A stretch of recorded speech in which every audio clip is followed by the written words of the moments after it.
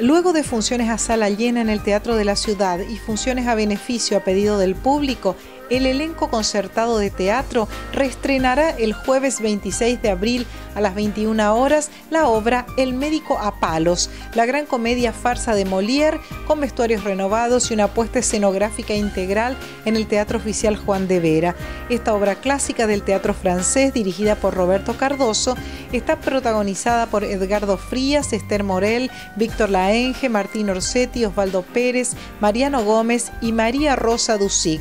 El médico a palos es una obra entretenida, hilarante, ingeniosa y pocas veces representada en la región y podrá verse el jueves 26 en el Teatro Oficial Juan de Vera.